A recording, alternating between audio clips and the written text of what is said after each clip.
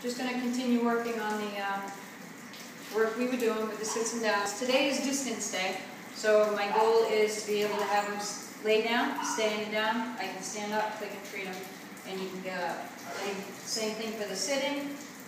Um, you can see he's not comfortable with me moving, so that's part of distance. So even just that much he had a hard time with. So here we go.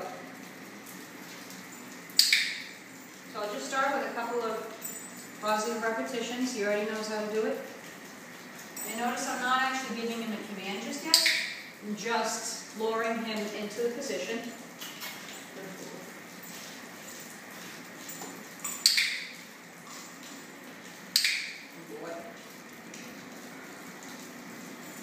Now I'm just going to do it while I'm still standing.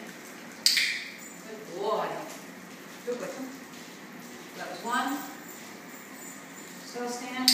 Good boy. Two. Come. Good boy. Three.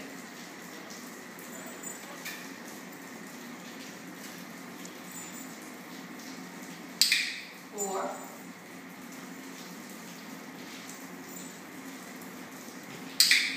Five. So he's successful at that. I'm actually going to bump him up.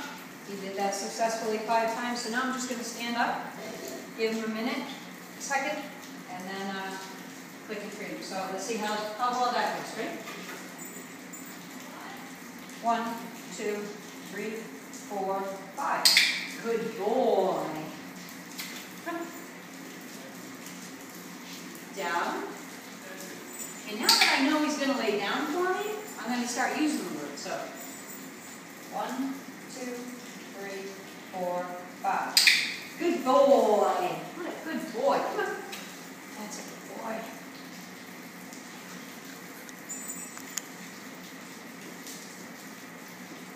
One, two, three, four, five. Oh, I blew it. Ready?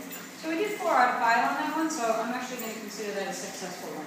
I'm just going to do it one last time, just so I leave him on a something to think about No. Good boy. All right, so now the sits. I'm going to pull him out of the position so I actually get a sit. So sit. So one step back, he tolerated. So one step back, too far. Good. So that was just my foot moving. He couldn't handle me moving my body. So just going to give him a little bit of motion to kind of think about, but not too much. So that's five. You did well. Start with the other leg.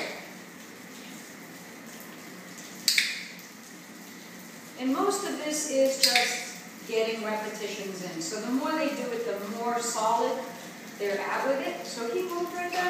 I'm not going to click. I'm going to ignore it and wait till he does do it right. Good boy.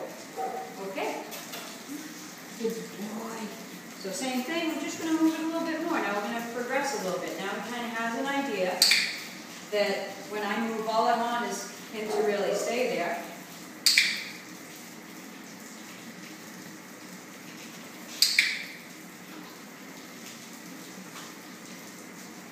That's five successful, so he's doing great. I'm going to keep going.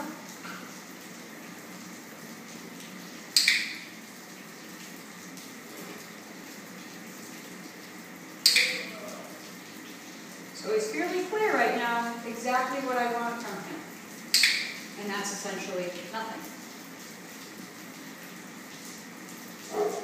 So now I'm increasing it to two steps as opposed to just a one-step treat. I'm going to go two steps, treat.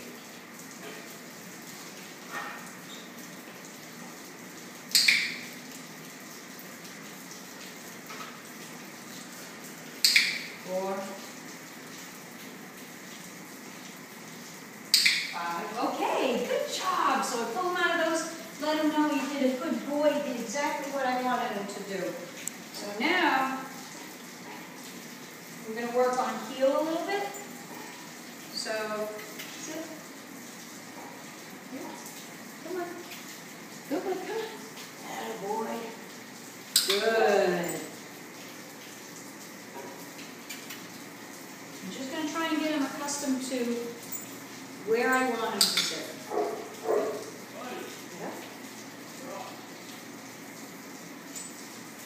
And he's not doing it kind, quite like I want it, so I'm just gonna hold off on, good. On giving him a reward for that, good. And now he's getting it. Come on. Good boy. Okay. Good. Good boy. Hey. So I'm going to take that as my cue that he's kind of getting tired. Come on. Good boy. Down.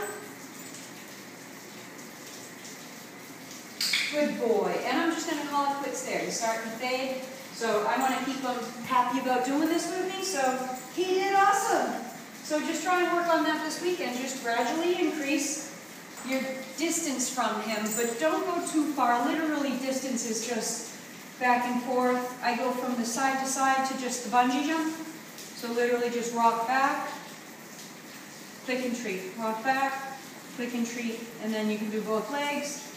And just gradually, just little inch by inch. Good boy. Okay, that's it. Have a great weekend.